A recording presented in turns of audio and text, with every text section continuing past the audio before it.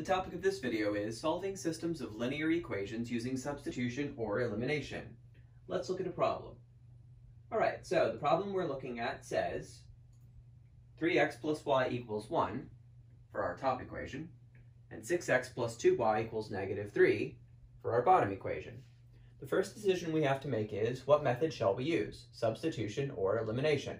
So let's go through the steps to make that decision. First, clear all equations of fractions.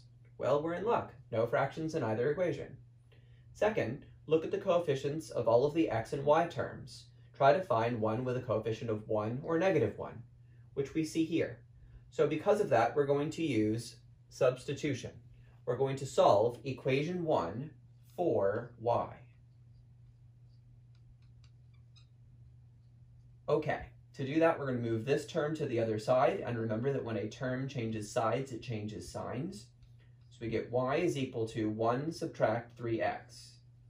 These are all different versions of equation 1. We've simply made them look different.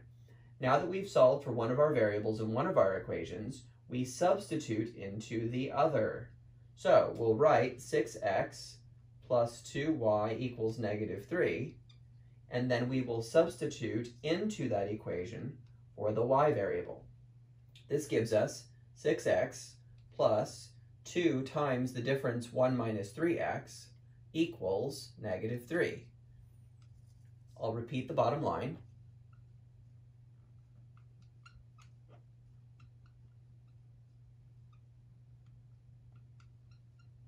Now, we no longer have y, we can solve for x. Let's distribute. So we get 6x plus 2 minus 6x equals negative 3. We'll move this plus 2 to the other side.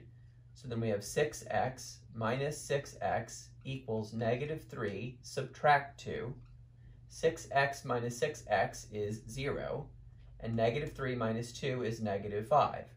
Notice that all of our variables have been eliminated from our problem. They have all canceled out.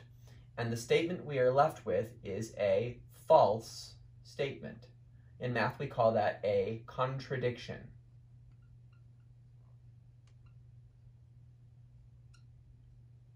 Based on this result, we conclude that there is no solution to this problem. If we were to graph both of these lines, we would find that they are parallel lines that do not intersect. One of the great things about the final solution being no solution is it shortens your problem there's no values for us to check.